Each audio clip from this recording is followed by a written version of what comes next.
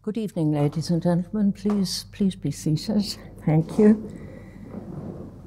We are delighted to welcome you all to the Royal Irish Academy this evening in our newly restored meeting room, which was done during the pandemic, and we are delighted to have it back.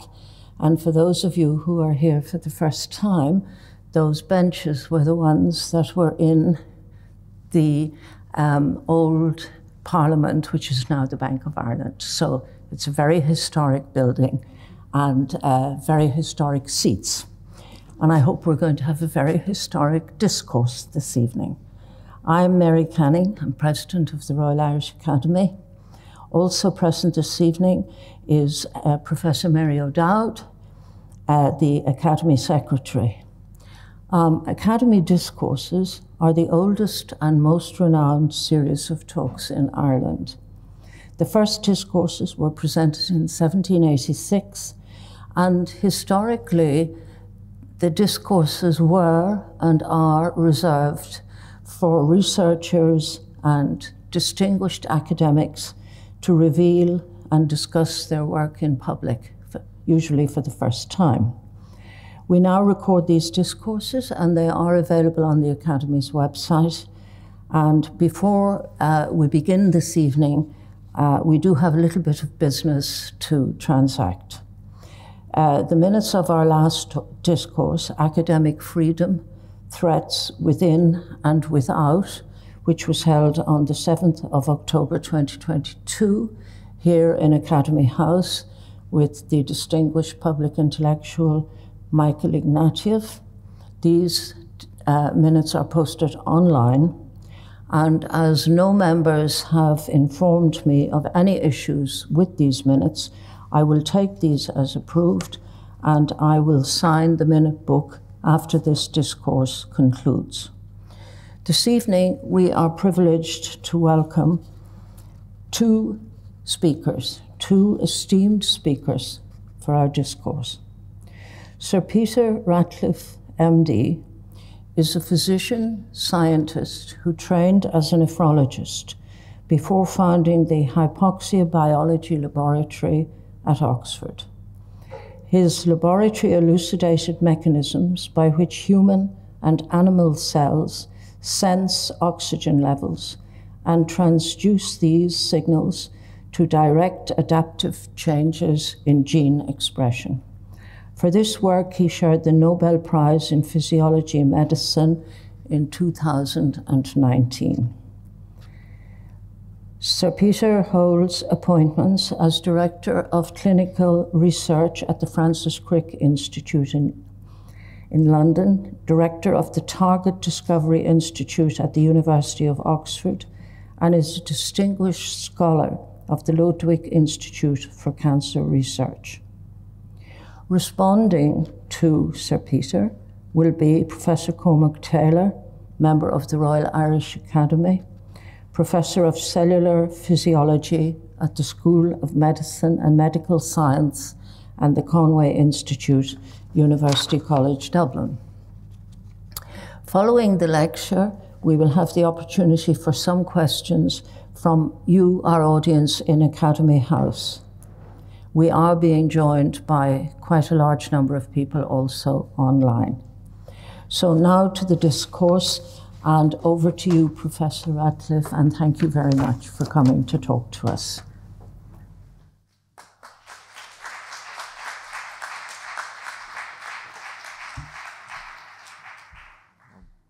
Thank you very much indeed for that uh, most kind introduction. Um, I'm going to take you through my lab's work in cellular oxygen sensing. Um, the discovery is somewhat akin to a thermostat measuring heat, but this one measures oxygen levels, and it's used to adjust the body's responses to combat low oxygen levels, to deliver more oxygen or less oxygen in, in just the way as your room heating would adjust the heat. Now, oxygen's important to the body, so this is a significant piece of physiology. I, will I'll argue because this is a sub theme that um, we didn't actually intend to discover what we discovered. We probably discovered about a thousandfold more than we thought we were going to do, and I'll come to that. And we're probably about a thousandfold less than understanding the totality of the process I'm going to describe. So I hope you can read the slides. Um, the subcurrent to this, um, the usefulness of useless knowledge. Um, th these are rather famous words of Abraham Flexner, the American educationalist, writing in 1939. He, he, the article describes an interview with a businessman who, who uh, Flexner asked, what is, what is the most important thing that has been invented ever? And the businessman said, Marconi, the wireless. And Flexner's response, well, you know, the wireless is dependent on electricity. And of course, when people, Franklin, Voltaire, uh, described the phenomenon, it, it had no clear use to mankind. But how much more are those words true now than they were then? Um, so that's my theme. We're going to take, I'd like to try to take you through that is a little bit technical, uh, but we're trying to do two things. We're trying to do the history over four centuries that led up to what we did, why we did it in the 20th century, not before, what was going before, and then, which is a little bit technical, what I did. So I'm assuming some of the science will be forgiven for being a little bit technical, but I have to do that. And um, to explain, hopefully, the chaotic nature of discovery. My life was chaotic, but, but I'm unapologetic for that. I think most laboratories are chaotic in the way they discover things. So I, am sub-theming that. You see that. Uh, the useless, usefulness of incomplete knowledge. So these qualifications, useful, that's, that's the word our politicians use, our, our funders use. Would you please deliver useful knowledge? And our journal editors have a different thing. They said, your findings are incomplete so I can't publish them. Neither qualification of knowledge is legitimate, and in my view, and I hope I'll persuade you of that this evening, and um, I'm going to exemplify that. And um, uh, first of all, um, the beginning of the story. Um, uh, Newton had uh, written Principia, uh, the people believed, or the educated people believed, that most things then would, would be explicable, the age of reason. And um, the question now was, what about biology? Is it different, or, or is it the same as, as, as Newtonian mechanics? And um, the first character I'm going to bring into this, who is this? William Harvey um, deduced, deduced, didn't show, deduced the circulation of the blood. And um, some very interesting things about Harvey's work, um, which are relevant to all of us today. Uh, he, he'd made these deductions by simple observation, ocular experiments, he called them, ocular experiments. So, unlike most uh, great advances, this was not dependent on new technology. It was dependent on observing the relation between the cardiac contraction and the pulse, the flow of blood from a severed artery, the direction of flow of blood in, in, in the veins. Now, you know, there's been a lot of people killed on the battlefield by the time Harvey wrote this. So there must have been many people who observed the flow of blood when a major artery was severed, but were not able to deduce that the prevalent theory that the blood was made in the liver and then transported to the, was inconsistent with, with what one observed. So Harvey, this was a new thing, uh, not just to believe others, but to actually look carefully. And that, that that's part of science, of course. Uh, but um, we talked about incomplete knowledge. This is what he said. Um, all parts are nourished um, and quickened with the blood. If, if, as if uh, it was made barren, and then it returns to the heart. I mean, there was a lot missing. Uh, and, and he had his detractors. Um, this is what he wrote. Uh, people said, well, it can't be right. We can't see any purpose to it. And um, to those who will reject the circulation because they see neither the efficient nor the final cause of it, I say only this much. First, you must confess there is a circulation and you inquire what it is for. Rather simple, but we have the same thing. As I said, we've had this trouble with journal editors that they well, you know, what, what, what, what, what, what's the point of this? It's not a complete story. We, but this, I would argue, was the first piece of correct human physiology. There are a lot of things that were not correct, but this is the first new piece. Harvey could have made uh, one more deduction uh, relevant to the purpose of circulation of blood, but that was done by Richard Lower, who um, worked with Robert Hooke in, in Oxford, actually. And, and he, he noticed that the blood changed colour. Um, Harvey had noticed that, but Lower noticed it went, went through the lungs, and the lungs made it red. And uh, that was uh, could be mimicked outside the body by mixing air and blood, what made it go red. Uh, and um, he, he, deduced nitrous spirit of the air, they couldn't know what it was, uh, vital to life, is mixed with the blood as it passes through the lungs. Harvey could have made that deduction, but he, he, he missed that one. Everything else was correct. So but there was a lot of trouble, um, which we be a reflection now. Um, th th this was uh, Samuel Johnson writing, I know not by living dissection any discovery has been made by which a single malady is, is cured. I mean, we, we have the same concern now, and the same impatience. Uh, Roy Porter writing of the uh, age of enlightenment, uh, as it related to medical science, great expectations, disappointing results. And again, we, we have now the same reflection in, in, precision medicine, which I'll come to, which is, which is quite tricky, but, but some people are ambitious for it.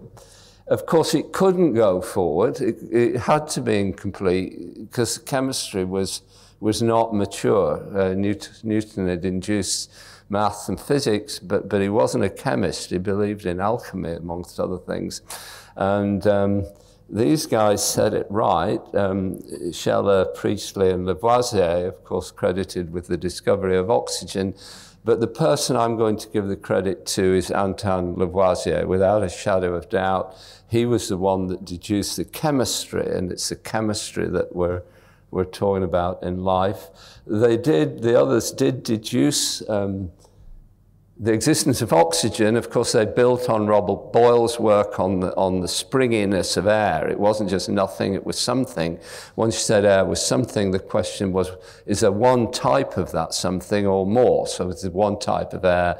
And, and, and they did these rather awful experiments of imprisoning mice in bell jars and waiting for them to die and showing that the air then had been exhausted and, and wouldn't wouldn't support the burning of a candle, um, but, but they, they didn't deduce the equivalence of that. They, they demonstrated that, that oxygen was, was, was being exhausted. Um, it was Lavoisier who, who, who did the chemistry, and here there was a technical innovation, the balance. So Lavoisier was able to weigh what was going on and demonstrate that burning increased the weight by the addition of oxygen to what was being burnt. And eh, he, I've written it out here. He, he, he deduced the equivalence in terms of carbon dioxide production of the burning of charcoal and the metabolism of a guinea pig. So this is a second first in this field. In my view, this is the first reductionist biology, i.e. the first evidence that a biological function, metabolism of a guinea pig, could be represented by a chemical formula, that of the burning of, of, of, of carbon with oxygen. Um, Lavoisier wasn't appreciated either. Um, and um, of course, he supplemented his income as a tax collector, which didn't bring him much favor in, France, in revolutionary France. And um, his dear wife, who, who actually married him, but at the age of 13, it was an arranged marriage, uh, but they clearly loved each other, at least she loved him. He, he didn't speak English, so she translated everything uh, for him. And um, she made a plea uh, against the death sentence uh, on grounds of his importance to science. This was the response. I don't really need to translate. La République n'a pas besoin de savants ni de chimistes. Uh, we didn't need you.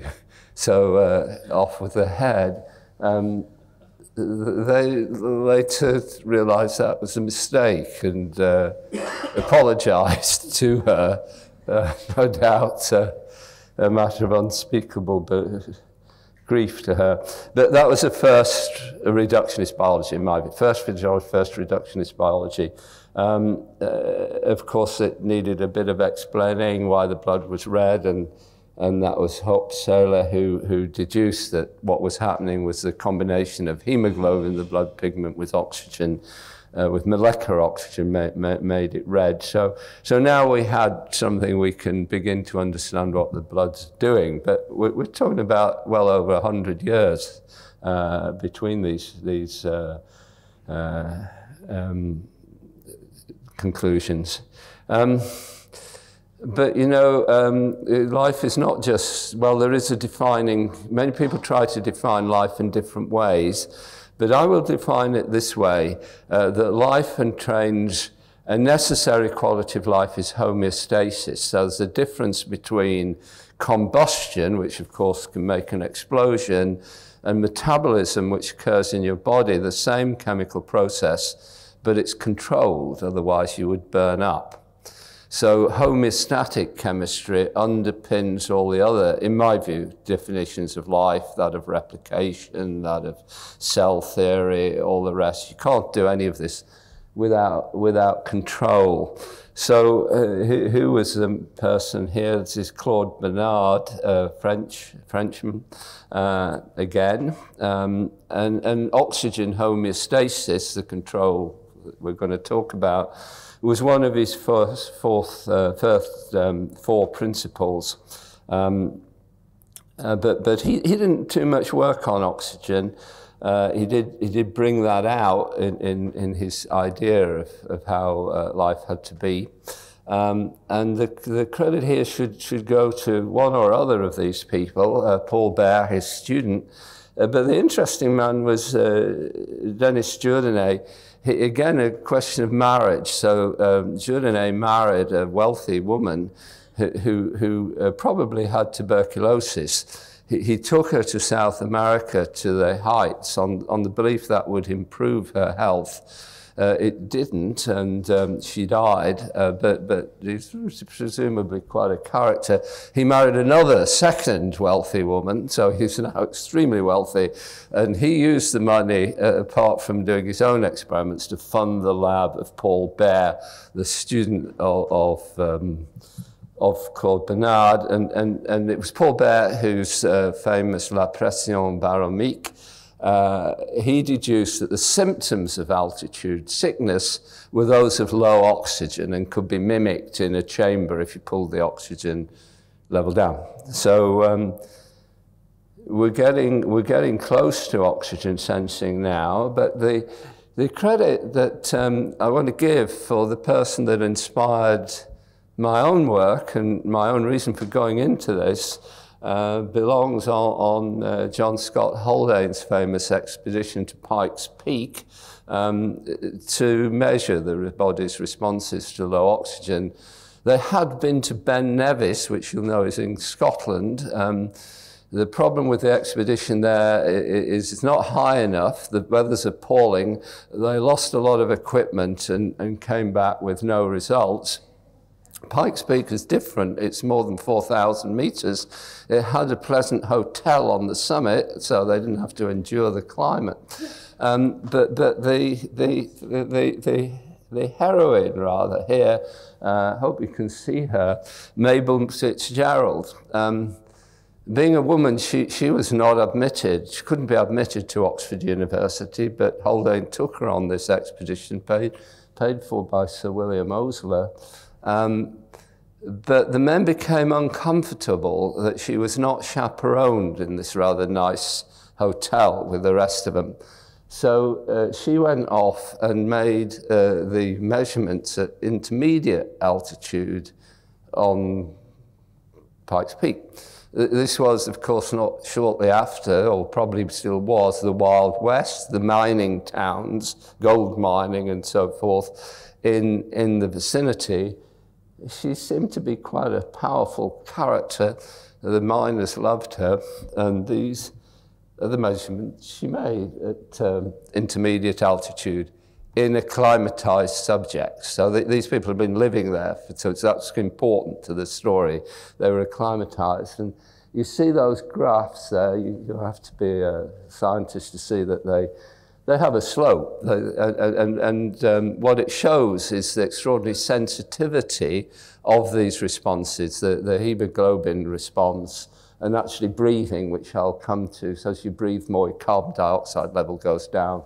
As a top graph, the bottom one's the, the blood level. So the blood level goes up. And it does so actually if you live at 300 meters above sea level, on average, your hemoglobin will be a little bit higher than those who are absolutely at sea level. And that, those were the findings that drew me to the field. I'd love to say I drew the field because I could see that it was important. That is not true, uh, and it's rarely true. Uh, and it's a poor advice for the young people who are seeking a career in science. The most important thing is, is the question you ask, that is true, but I didn't pick this one because I thought it was important. I picked it because I thought it was tractable.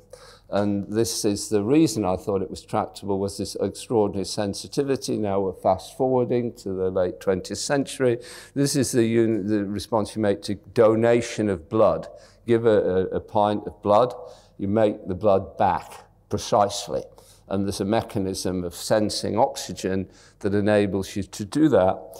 There was one other interesting uh, aspect of this system that suggests that it was something definable. Cobalt poisoning increases the number of red cells, just like altitude. So cobalt poisoning mimics altitude. Very odd thing.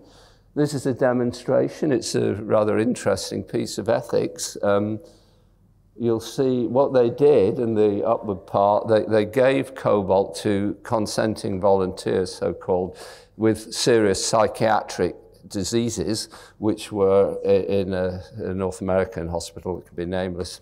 Um, they didn't kill anyone, but they demonstrated without a shadow of doubt that cobalt would push your, your blood up, and then all they, they took the blood away. So those two things uh, led me to believe uh, that it was, was tractable. Um, I had, as people talk about mentorship, the two types of mentor are those people who just say, well, well, Peter, you're very good and you should do what you want and it'll be fine.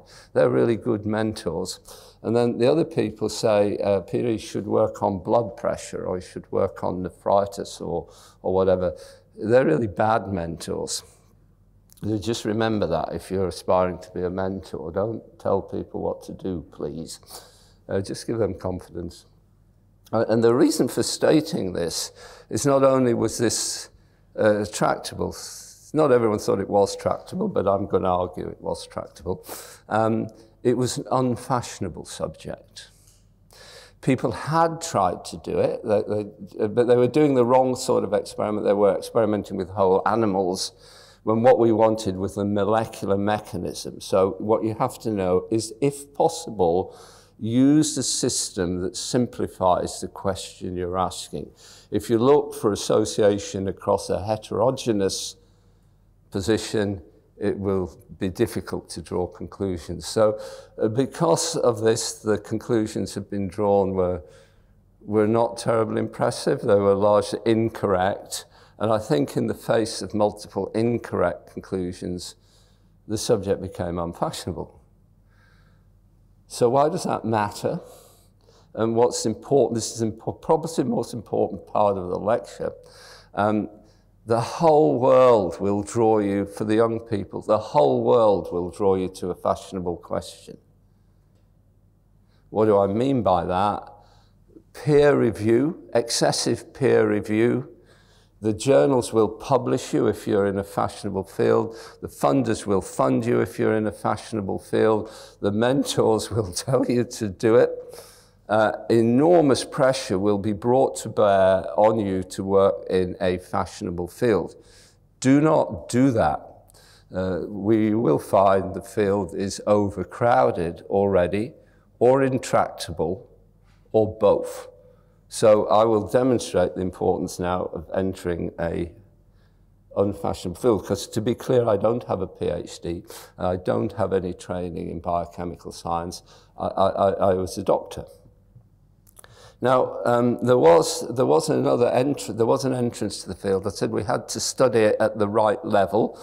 So we're getting to the technical half of the lecture now. I, I apologize for those who, who don't do this thing. I, I'll, I'll try to make it as, as simple as possible. But, but we wanted a simple system which was not a whole animal, it was cells in culture. Uh, and this is a work of H. Franklin Bunn in Harvard.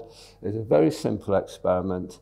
EPO, uh, the thing that makes the, the, the response to donation of blood and the thing that made Fitzgerald's hemoglobin go up, um, the, it's made in the kidney and the liver. I'm a kidney doctor, so I thought that this was a good subject for me. And the belief was that there were very, because of the precision of that, there were very special cells in the kidney and liver that, that, that, make, that make the EPO. And that's where the sensor, the thermostat, would be regulating that response. Uh, but we couldn't get the cells, and that's another story. No one has got the cells out of kidney. Frank got them out of liver. So now we didn't have, we had a much more homogeneous system, much easier to manipulate. And Frank did that simple experiment. You'll notice the oxygen level before it goes up is rather low. That's because your tissue oxygen is much lower than the oxygen you breathe. That's because of the gradients required for transfer. So, so this is a technical experiment. This is what we had to do. At every gene, there is like an addressograph that tells the gene to be come on in the muscle or the blood cells or the brain cells. In our case, tells it to come on under low oxygen. And we do this by, we find these things out by, by, by cutting and pasting. Uh, uh and you see this little black bit.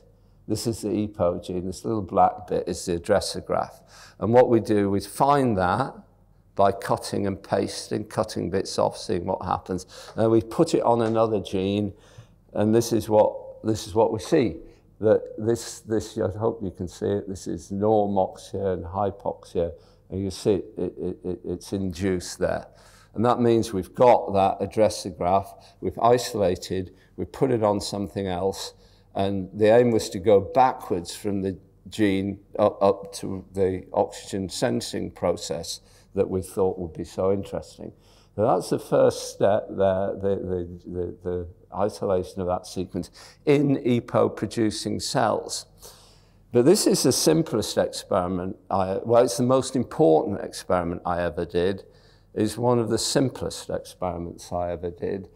What would happen if you put that addressograph into a cell that didn't make EPO? Was it, was it going to work or, or what, what, what, was, what was going to happen? We, we did that and with a bit of fiddling around, you see, we found the same, we found the same results. And um, initially that was a little bit irritating. Someone said, well, it, it's something non-specific. It isn't. It, you know, everyone knows the EPO is made in the liver and you've got it in some other cells. So must be something wrong with that. But uh, I would say the data there's plain as pie. And we got quite excited then because the implication was people had said, you don't need to work on EPO because Amgen Corporation has made EPO, so you can use it as a medicine. We don't need to know how it's, how it's regulated. But now the possibility was it did all sorts of other things. And the more I thought about it, the more I thought it was important. So um, you can't read this letter, it was just as well in a way uh, it's not a very good letter. I, I, I, drove to the offices of Nature magazine in my old dilapidated sports car to make sure that the manuscript actually got to the journal officer. And I thought I'd, I burst into the editor and, and, and they would immediately see the importance of the work, you know, like myself, and, and, and agree to, to publish it. The, the, the, that was on Maundy Thursday, as you know, that's the day before Good Friday. It comes about in April. This letter's dated August, so they took a while before they rejected it and you can't read it, but the underlined letter says, we had difficulty in finding reviewers for this manuscript. Well, you know, frankly, I didn't think it needed review. I thought the results and the implications were obvious, but, but that's, if they say that to you, onto a good thing. That means that it's a new field. There aren't full of peer reviewers and other people who are crowding out the field. And um, it was correct, and um, we've learned all sorts of things. That's, that's, um, we're now interested in cardiology and cancer and lung disease and whatever. But at the time, we were interested in what's the next step. It was a little bit more technical now, but I want to draw some general conclusions. Same principle, transfer of it within that, within HIF, which, which Greg Semenza identified, um, there would be sequences that interact with the oxygen sensing. So HIF binds the addressor graph, one step. Now, second step, what binds to HIF? What, what alters HIF? And we do the same thing. We take a bit of it and we transfer it onto something else. And we say, you know, what, so if it transfers, that's the bit that is working with the oxygen sensor. So what did we find? Well, interestingly, we found three bits that, that would confer oxygen sensitivity on something else. So each of those three bits must be acting, interacting with the upstream thermostat sensor that we wanted to find. And we thought then there would be something, there would be a clue, there would be something common between those three bits that we could easily see, and then we'd know what it was. The first problem is we couldn't see anything in common. People thought, those who are uh, scientists in the audience will know that everyone knows that signal transduction is made by protein phosphorylation, the putting of phosphate groups on and off proteins. So, I well, there'll be a, a thing that, that binds to these phosphate groups. It must be in these sequences, and you'll be able to see where it is. Um, but Chris Pugh, who I great friend and colleague, he mutated every every phosphoacceptor uh, amino acid in that thing, made no difference. Again, we, we had difficulty publishing this work. People said, well, uh, this is negative. This is all negative work. He published a lot of mutations that make no difference. And one of the reviewers even suggested we were overfunded to do this work. But you know, it was important. It was a puzzle at the time. It excluded the mainstream hypothesis, right? Excluded the mainstream thinking. So it actually was just as important in direction as, as positive work. I just want to speed a little bit. Because the next clue, so what was it? We were stumped. We, we spent a line wandering around, but, but there was some aspect of this signaling system that was clearly new.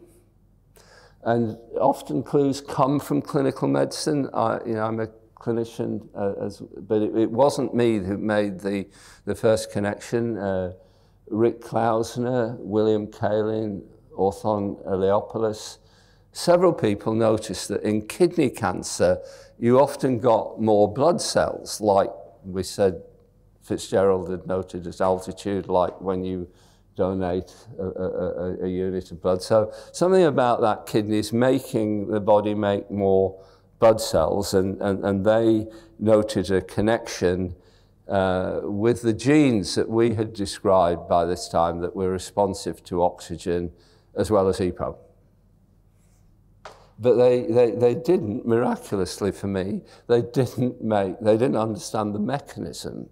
And, and, and we understood the mechanism. And here's another lesson. Why, why were we able to do this against the might of United States biochemistry?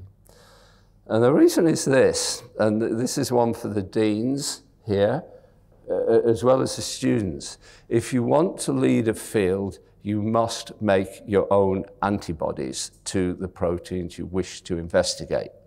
This will be tiresome, it will be expensive, but you must do it. Because by the time you've been able to buy them commercially from Santa Cruz or whatever the company is, other people will have them.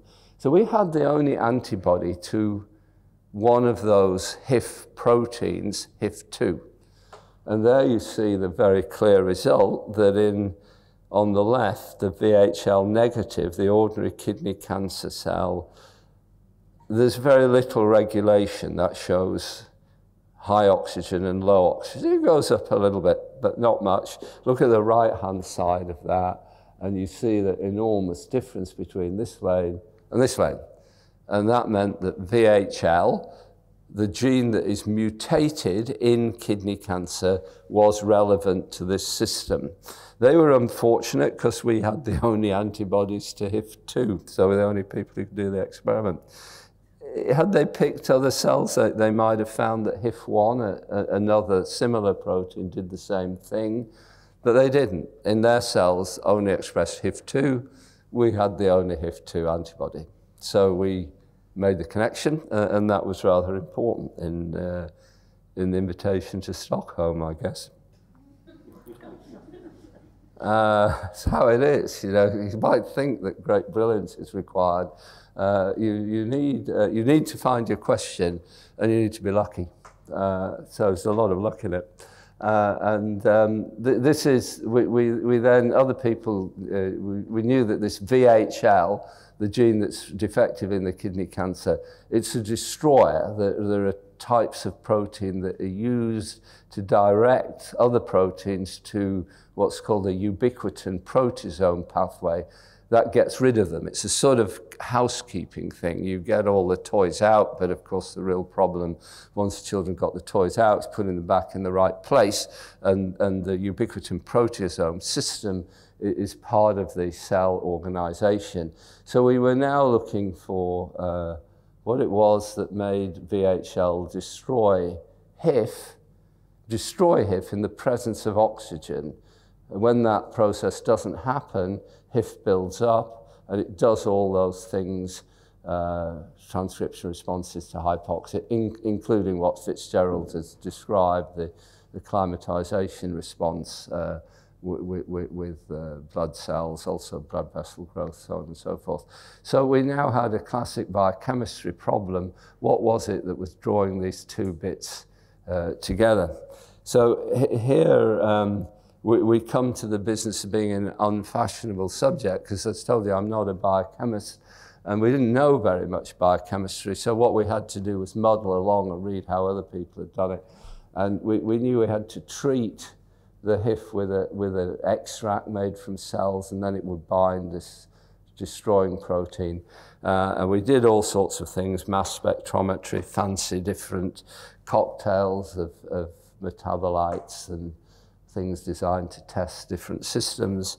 Uh, and then uh, this was a eureka moment. Um, we deduced the, the, the, the process was prolyl hydroxylation. Now, it's a technical term, but this meant that the, an oxygen atom was being added to the proline ring of a residue in HIF. I, I, I can't simplify it beyond that. But I can tell you that this is one of the electrifying moments of science. To prove this, we made a peptide that had that oxygen atom synthesized in. And there you see the clear result. It's what I call a Sunday morning experiment. I'll come to that. The normal peptide needs treatment with an extract. It's blank there, it's positive there. The new one with the oxygen atom didn't need that. Why do I say Sunday morning? That means someone rang me at home with the results Sunday morning. That's a bit unusual that they do that. Uh, it means the experiment, of course, was done on a Saturday. That's a little bit unusual. It means also the result was considered of sufficient importance to go in and read on a Sunday morning. So that's, that's very special. But what's extremely special is the result was positive. We'll come to why, but nearly all biological hypotheses are incorrect. So usually they come in miserably on the Monday morning and tell you that the hypothesis has been destroyed.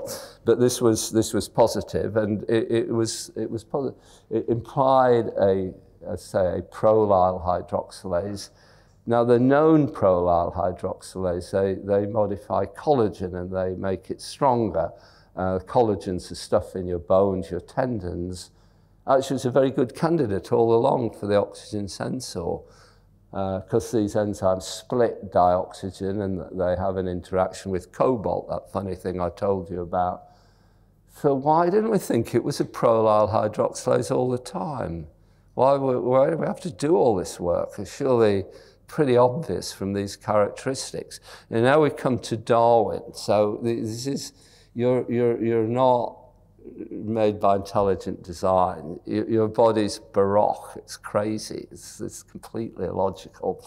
So collagen is used to cause stiffness of certain proteins how could the same process be used in oxygen sensing? Crazy, right? So this is, this is what deludes you. The fact that something was used in stiffness says, well, you can't have stiffness and oxygen sensing done by the same thing. Well, we'll see. But that was the implication. We were looking for one of these things. Now, again, we had a biochemical challenge with the whole of the US now on hot on the tail. Uh, obviously, it worked well for us, but how?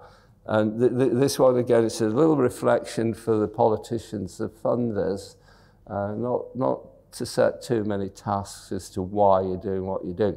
Uh, we, we, we met with this guy, Chris Schofield, who was working on antibiotic synthesis. Good thing to work on, but nothing to do with, with our subject, right? Nothing, nothing obvious to do. But, but some of these enzymes are similar to the collagen thing that, that makes a stiffness. Uh, Chris uh, solved the structure and he came up with this cartoon. This is, broadly speaking, what, what the secondary structure looks like. It's got these uh, coordination residues for iron.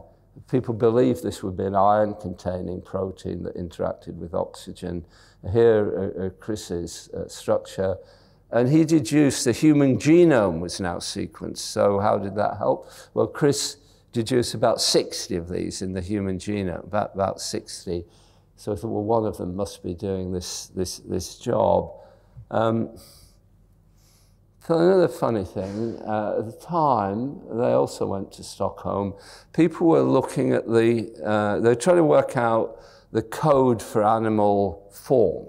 Uh, and they catalogued they decided to do it in the nematode worm, and they catalogued worms that look funny because they had mutations.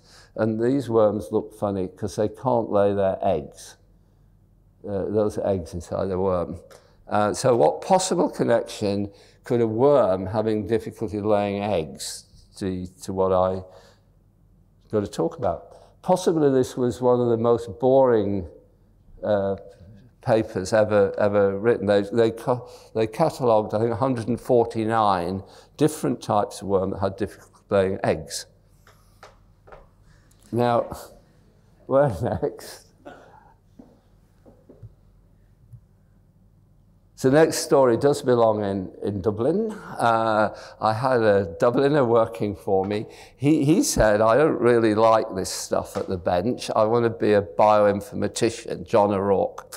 So I, I said to John, well, you know, perhaps then, John, you might see if there's a HIF, one of these proteins that we're looking for in man, in the worm, because a lot of the work been done on the worm. And, and he, he went away and he said, I think this is your gene, this is the gene. But we didn't know, so what did we do? We made an antibody, same thing, we have to make your own antibodies, expensive. And this is, this is, this is John's antibody, and um, here, and it shows, this is, you can't see it, but this is the worms in Belgium. You don't have to have a license to do this. You can just put the poor things in low oxygen and they induce HIF. So what's the significance, what's the déroulement of the whole story? Well, one of Chris's mutants, one of Chris's candidates turned out to be one of Bob Horvitz's the, the egg-laying mutants. Now, if you have a mutant, that's quite useful for deducing function. So the mutant will not work like the enzyme won't work in low oxygen. So what you see here is the end of the story. Uh, that, that's, that's the induction of HIF in, in normal worm. And this is in eggle, egg-laying defective, number nine. So number nine was the ticket, and I remember Andy Epstein bursting through the office door said, Eggle nine, it's your gene. And, and sure it was. That's, um, that's the story, and that's what I'm telling you, that all this was, it is an unprecedented signaling system a regulatory oxygenase splits molecular oxygen, remember O2, two atoms of oxygen, puts one on that proline ring. Uh, that makes an alcohol group, which you'll remember can hydrogen bond, and that hydrogen bonding associates the HIF with VHL, destroys it in the presence of oxygen. So um, that's a funny thing. We've just got one more bit of Darwin to come to before the denouement. Um, it's a funny thing, isn't it? You, you make a protein and then you destroy it. Why, why would you why would you do that? Why would you switch? Why would you have that type of switch? Why would you need to make the thing energetically and then destroy it in the presence of oxygen? That's what I'm telling you happens. You have this thing going round and round and round, and then no oxygen can't go round and round, and that's a signal to adapt to low oxygen.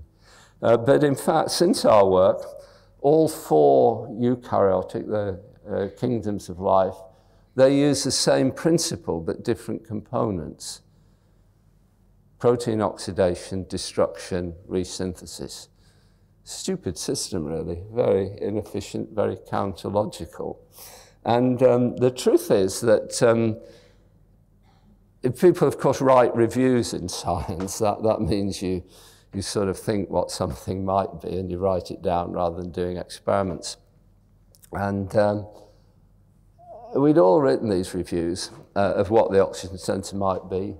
They were all wrong. Uh, and the more erudite the reviewer, the more wrong they were, really. A any reasonable person would conclude that the purpose of the review was to confuse the field and put the workers off finding the answer. They're all wrong. Yet I've said the answer was obvious. Thomas Perlmann even said it at the Nobel thing. He said, this one of course, they'd given us a prize then, so it didn't matter. He, he said, it's obvious. And, and, and, sure enough, it is. So um, what I'm going to do, I, I'm going to explain this, um, why it is that it's always wrong, and why Darwinian evolution is, is not understood by most scientists, I would say, at least its implications are not understood. I'm going to explain this to you uh, you're neutral here in Ireland, I, I, I think. I'm going to explain it by reference to the European motorway system. Motorway system. So, um, well, let's do the science first. HIF, it, it, it, I've written it out there, it, BH, it's a basic helix loop helix PAS protein with these these bits on the end. We'll, we'll just go through that. So basic, that's part of the protein, basic helix. Those proteins are in all eukaryotic species, yeast, uh, uh, and uh, plants, animals. Um, the PAS domain, that's the next bit of HIF, um, that's in all species, including bacteria, where it does sensing functions, including the sensing of oxygen. So why wouldn't it be that the PAS domain was the oxygen sensor in this one? People say, well, it's obvious it must be the PAS domain, but what I've shown you is in fact there are enzymes that that do something different. They, they oxidize the protein that signals for its destruction, nothing to do with the PAS domain. And they're actually in all species. And um, then there's another one actually on the end that does that other site that I talked about that could confer oxygen sensitivity.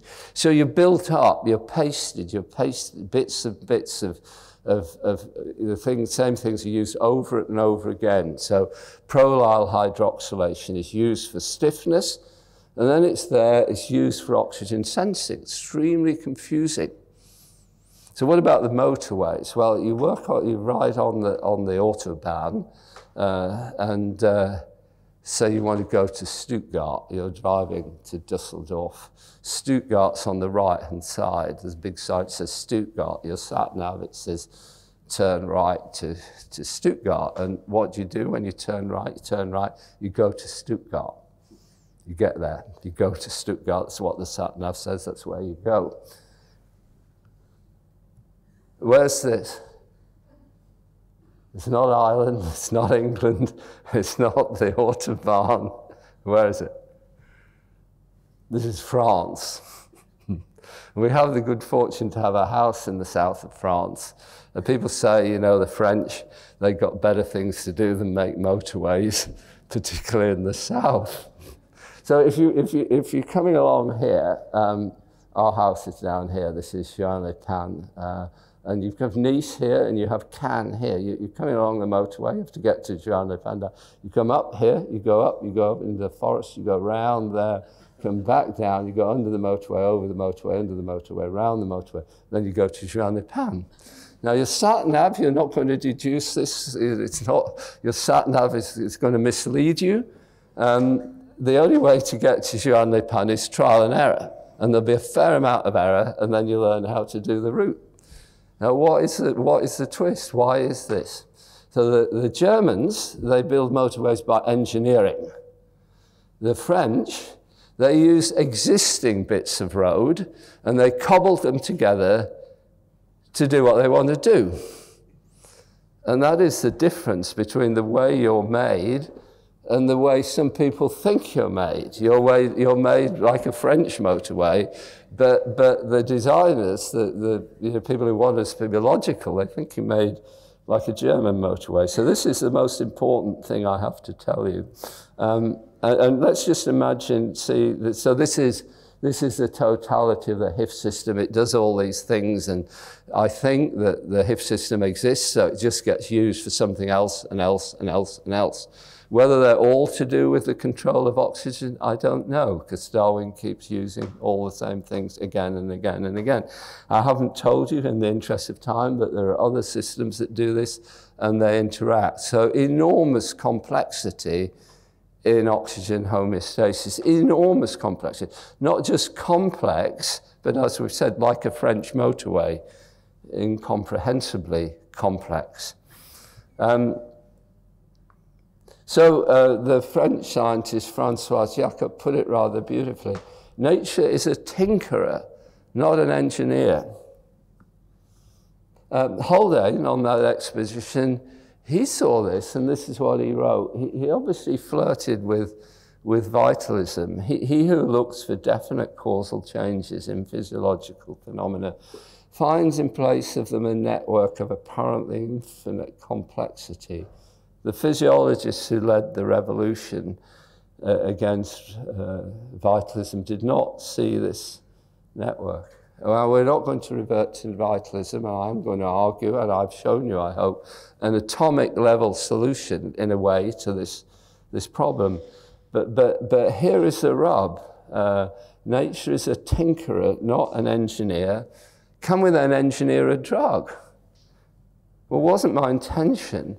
But in fact, there are two drugs uh, that owe to this, this, this work in a sense. One to down tune the system for cancer, which needs a blood supply, and the other to up tune it for, for anemia.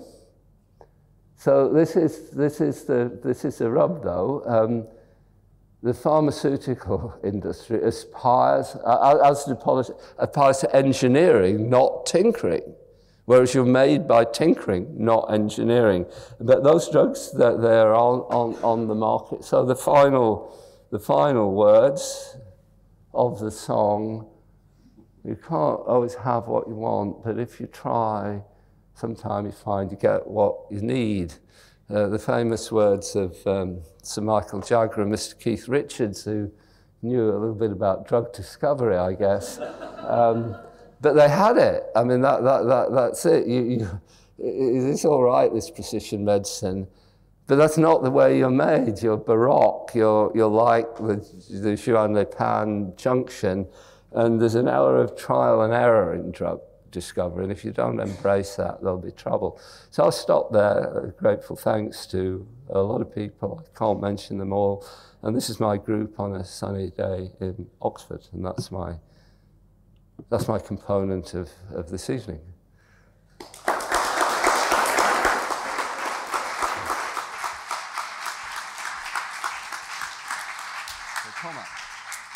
You, you, you want me to sit here? Yeah, yeah. Yeah? Yeah. Yeah, that's good. If you can see over the. I won't know what to do in this chair. Just don't touch this thing, whatever it is. I think it looks expensive.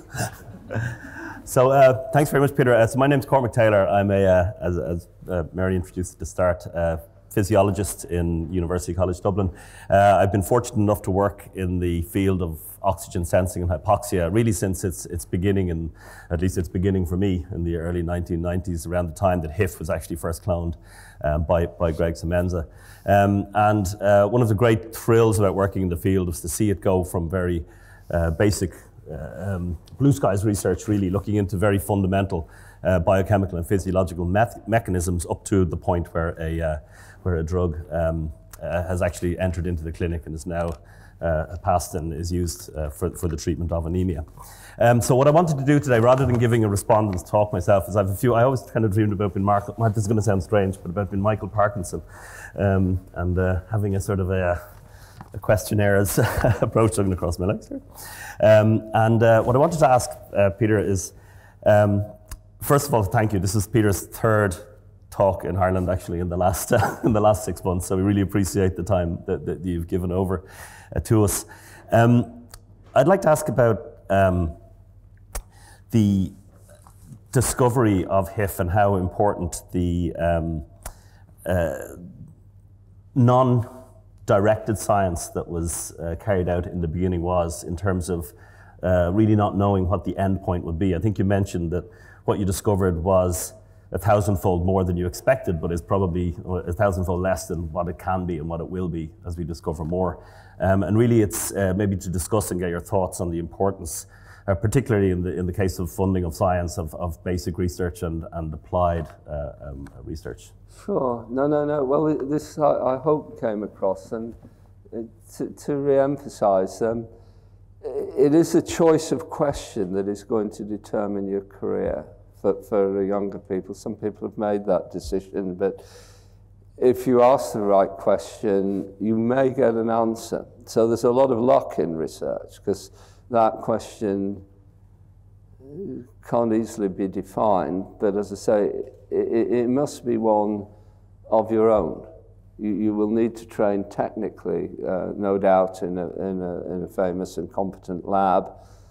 But if you follow that, you, you, you will you will not, you may succeed in publishing your work in, in Nature or Cell, but it, you're unlikely to succeed in, in defining an answer to a problem because other people are, are doing it. So you, mu you must find your own question, uh, and it must be tractable and then it might turn out to be important. So in, in, in this case, people said, we, we don't need to, well, if you want to be a serious academic uh, nephrologist, kidney specialist, you will have to work on either blood pressure regulation or, or glomerulonephritis, because that's what people in nephrology work on, and that's what you're going to have to do if you want to be a professor of nephrology. And, and that advice was extraordinarily bad extraordinarily bad.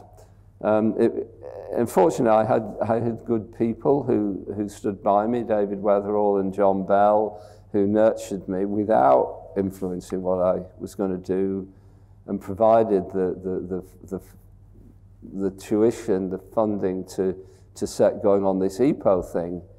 Um, Terry would know it's important there, Terry Lapp. But, but most people didn't think this had any, you know, was, wasn't, it was a niche area that, that wasn't worth all the, the trouble because people had recombinant EPO. So,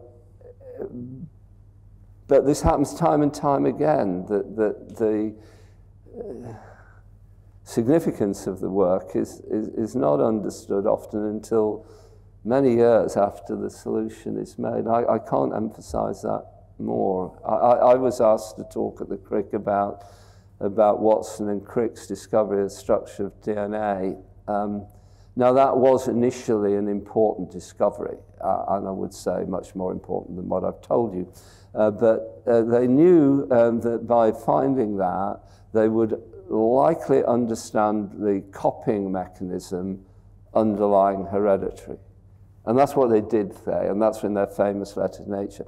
What they did not know was that the same mechanism of copying would be used to amplify DNA, which you cannot do for proteins or other molecules, and therefore a whole realm of biochemistry was opened by the copying of DNA to millions of copies, the polymerase chain reaction that diagnoses the coronavirus.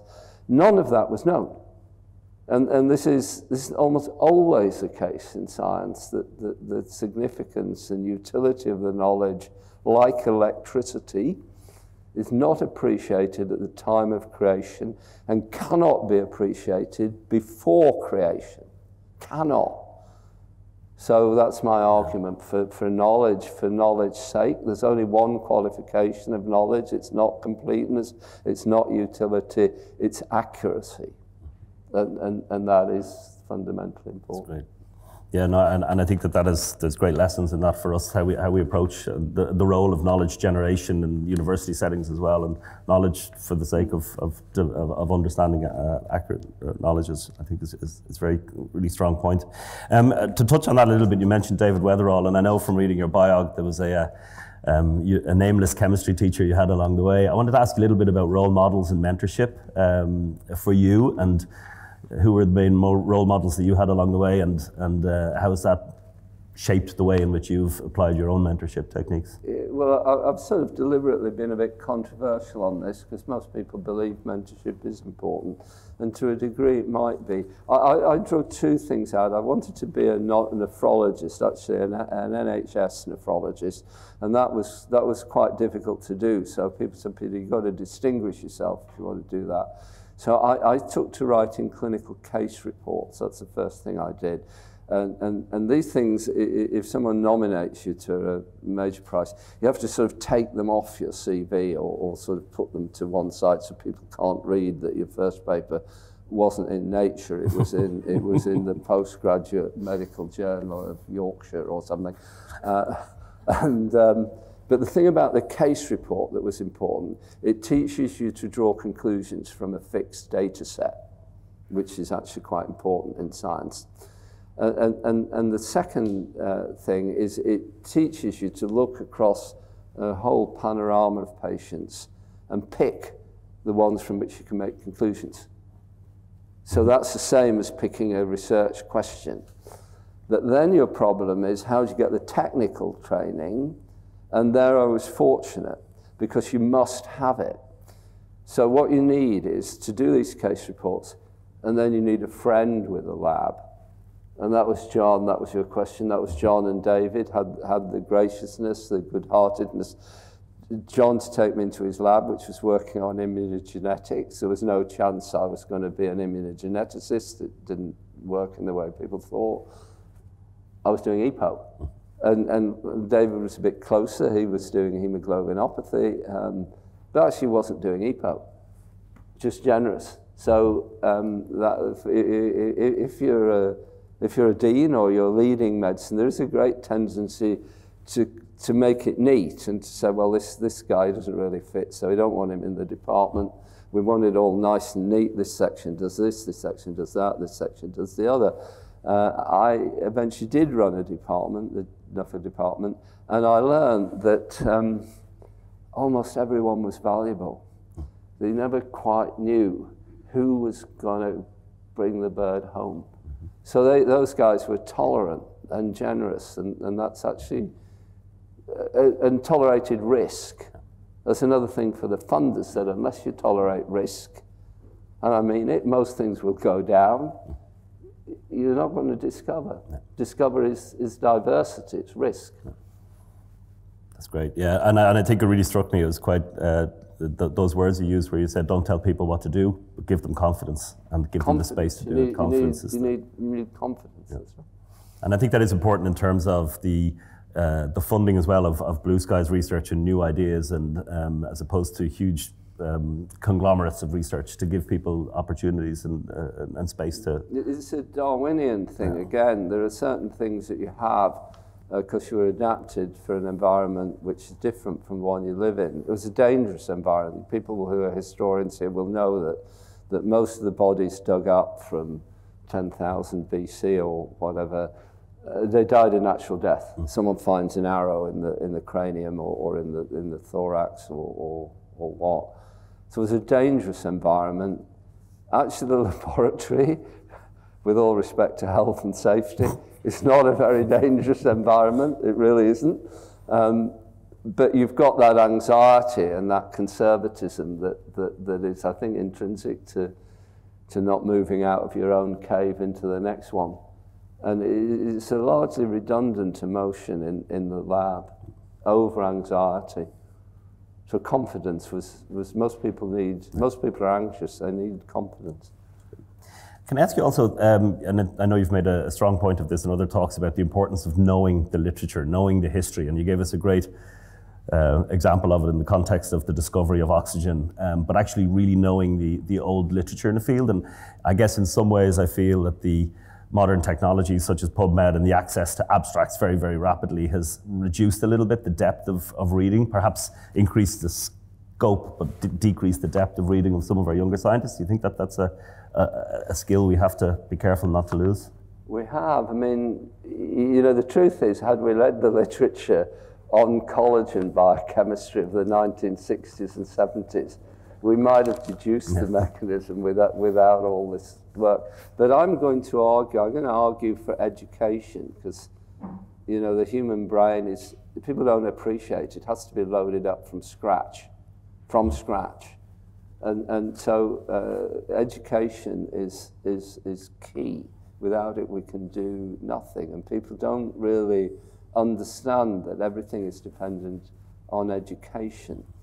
In science, the most interesting thing, I would, I, I would argue that it would be important to teach history, not through the political and military history, but the history of science, because it had more to do with the societal advance. And I would argue that it was more important to teach science through the history of science, because the way to learn discovery is to learn the history of discovery.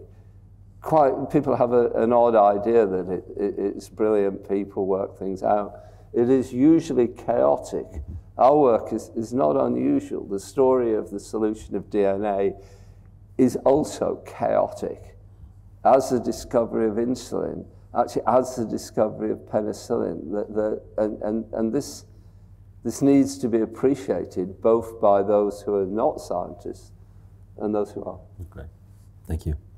Um, I've just realised, in, in, the interest of time, I've just got a couple of, of, of uh, questions left, but one that I can't help, and I'm, i know we hadn't discussed this before, but one that I, I can't help asking you about, because um, I went off on a, on a 2 a.m. kind of wormhole on the internet last night. I was watching uh, Peter's Nobel Prize acceptance speech, and he talked, as he did tonight, about Mabel Fitzgerald, and being Irish, I, I saw Fitzgerald in there. I thought we'd be able to claim something, but apparently no, or at least it goes well, the so name, The name must be a clue. You would, I know you think so. must mean something. I couldn't find any direct uh, relation to Ireland, but um, but I do think it brings up uh, something important. And, and and as I read at two o'clock in the morning, more and more about um, Mabel Fitzgerald and her life as a female physiologist at a time when women were not allowed to be members of the Royal Society, weren't allowed to, to do a lot of uh, things in, uh, at, at, an academic level. Uh, she was a real trailblazer and did it with a great attitude. And I, I think it was just a, a great um, uh, uh, a segue into discussing maybe the importance of diversity in research and how we need to be able to uh, continue that. Uh, it was very, it was very nice. We had a big um, hypoxia conference here in Dublin, uh, Keystone Conference, and it was the weekend of the marriage referendum. If you remember back in 2014, it was a, a time of, of, of, great celebration around Ireland. Um, and I'm just curious about, about, you know, on the context of Mabel Fitzgerald and, the, and as you spoke about today, why it's important to emphasize the, the importance of, of diversity within our, our research, which wasn't always the way as we see from those old studies discovery is diversity, diversity is discovery. I, I mean diversity in ev- every conceivable way. So I count myself as diversity at the Crick. You know, I am a white man, uh, so that's not very diverse, but I'm a clinician. And people think the purpose of clinicians in the Crick is to translate the work of the Crick into medicines. That's not true. It couldn't possibly be done. The pharmaceutical industry needs to do this, all sorts of things. The Crick's completely unsuitable to do that. The purpose of having clinicians and the diversity in all other respects is to broaden the portfolio of the Crick's ideas, to broaden its agenda. And um, you probably know this, that I, I, when I took the Department of Medicine, I had all sorts of different uh, pieces of advice, most of it not very good. But one thing sticks in my mind. Um, people said there were many very clever people have run entirely sterile departments in their university. And in some ways, there's a correlation between the power of in the intellect and the sterility of the department. And that is because if you're intolerant of other people's ideas, you may feel it's stupid or, or, or not important or not relevant, then of course you constrain the department to your own horizon. Whereas actually the discovery has to entrain much wider horizons. So amongst all other things, um, you know, diversity is important in every aspect of, of, of, of human uh, organization. But if you're running a discovery institute, let's be clear, it is your bread and butter. Well said. Yeah, I agree. And it's a broad church, the, the, the, the scope of diversity. Um, so uh, I'm going to uh, finish up with, with just one last question. And, and I, I was at a I've done a few uh, Vivas recently, so I'm going to ask you a similar question to what I'd asked the students at the end of the Vivas is what was the most important, the most important non-scientific lesson you've learned to date uh, during your, your career? The most important non, non-scientific, non-scientific thing. That, that, that, that, well, that was one from being head of department that that diversity was important. We, you know, things would change so that the, the, the ref would come in and what they wanted to know was, was patient experience. I remember Anne McPherson's department, patient experience. It, it never published anything in a high-ranking journal. So people said, well, Anne, she's no good, you know. Yeah. And, then, and then a lot of the funding was given on the basis of patient experience. So, you know, Anne was then sent to stage. So I learned, I think I learned I learned that. I, I, I learned that, that so many people have, have different things to say. Yeah, and I think that came across very clear in the, the presentation as well, that, the, that to have multiple different, and everybody had a value. Finding that value is the, mm. the key thing. So, so I'm going to um, uh, invite the president uh, back up to uh, take any questions from the floor. Thank you very much. Uh, totally fascinating. Let's open it up. Right. Catherine. You need to wait for the mic, Catherine. Also, I'm rather deaf, so okay, you, I'll, you I'll... might have to repeat the questions for me. I, am I'm, I'm wearing. Um... Okay. Hello. No.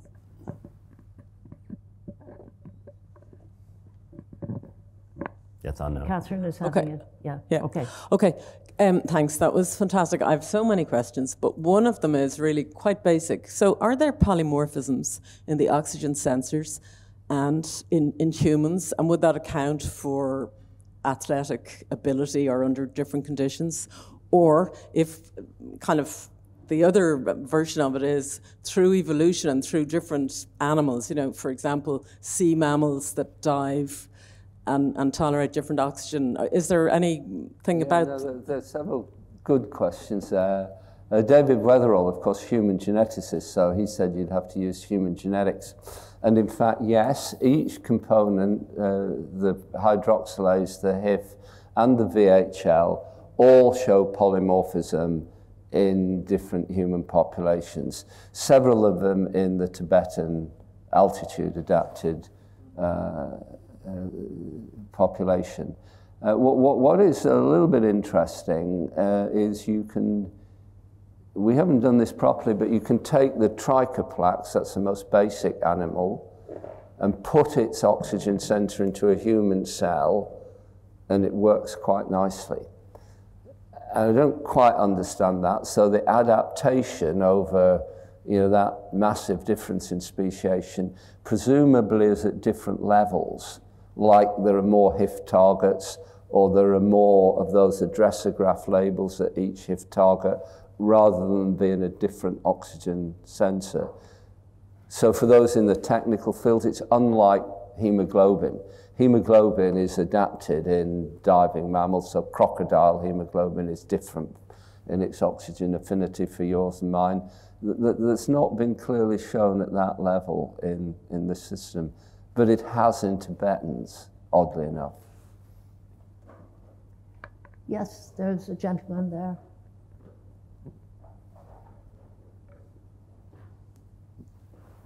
I was just wondering, a wonderful lecture, thank you very much.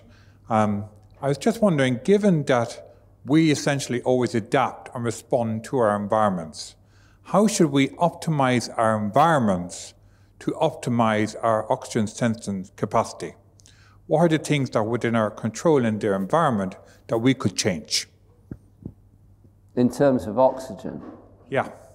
Well, yes, um, interesting. Uh, people try to, uh, you know, train athletes, as you know, because you earn large sums of money by winning races. And it, it, it's not actually that easy. And it, it's interesting that it hasn't been, to my knowledge, not possible uh, to demonstrate that altitude training really improves performance. Uh, why is that? Because it's complicated. So altitude training will will alter your cardiovascular physiology. As far as we can see, it, it will also down tune your mitochondrial complement. That they're the energy creating organelles. So if you have less mitochondria, you, you can consume less oxygen, probably run less fast. But, but on the other hand, you've made more blood, so you could run faster. So there'll be multiple factors, which it is possible that for a particular sport, you could improve performance by adaptation to a particular. People are also interested in whether you could do this with disease. And I get a lot of calls from people wanting me to consult with them about that. And I don't know, it's quite possible you could pre, you know, this is preconditioning or, or conditioning for different diseases. You could do it, but it's not very easy to predict. I also warn you one thing, it's also dangerous, very dangerous. So, so hypoxia, people talked about COVID, hypoxia is not unpleasant. In fact, it's euphoric. Hence the balloonist, hence bad judgment on Everest, hence the balloonist going to altitude, hence, very sadly, uh, people um, putting their heads in gas ovens and not taking them out in time. They don't all intend to, to kill themselves. But, but, but so, so the, I, I've had people ring me up and say, we've got this thing and you can walk along, you can breathe a hypoxic atmosphere and, and it'll, it'll condition your blood vessels. you be very careful, it'll kill you. So, but, but you, the answer is it must be true that you could adapt performance. It's just because of the complexity, it's really difficult to predict.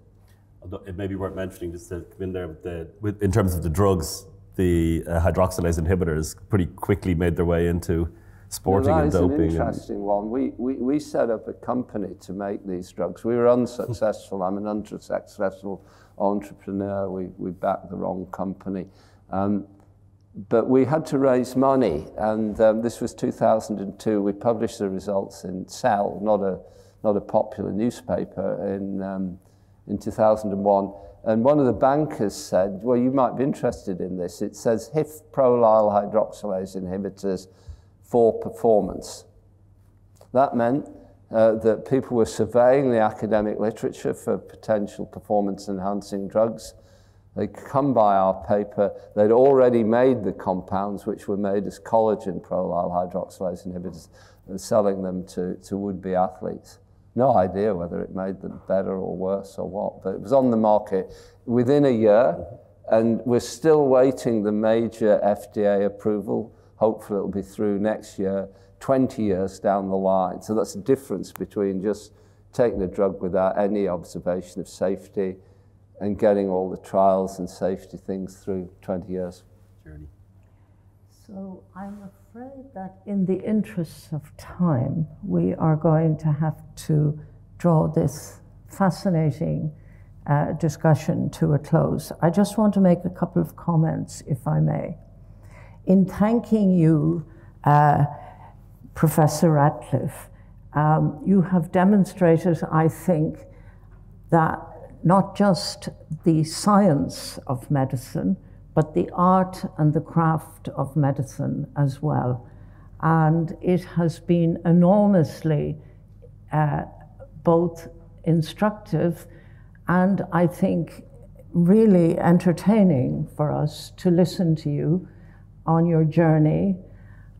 But there are huge policy lessons in it for those of us who talk about funding research as we do in this academy, because the importance not just of blue skies research or of allowing uh, people to think through what it is that fascinate them, but also the chaos that we, uh, we live with. And it's very reassuring to hear that because when policymakers, I think, tried to make us close down on things, to listen to you is really inspiring. So I would like to thank you very much. I am sure the audience will, uh, will thank you in a moment. I just want to thank our Secretary, Mary O'Dowd, for, uh, for organizing this, um, this discourse program. The next discourse will be given by me on the 28th of February, and the subject is going to be the critical university, exactly about um, the importance of institutional autonomy at a time when, as we know, it is uh, threatened. And I shall be in conversation with um, Professor Brian MacCraith, and I hope people will join us.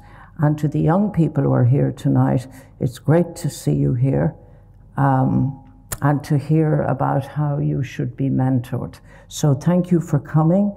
Please do join us for refreshments, and thank you to all our uh, participants who are online and sadly will not be joining us for refreshments. So thank you very much and good night. Thank you.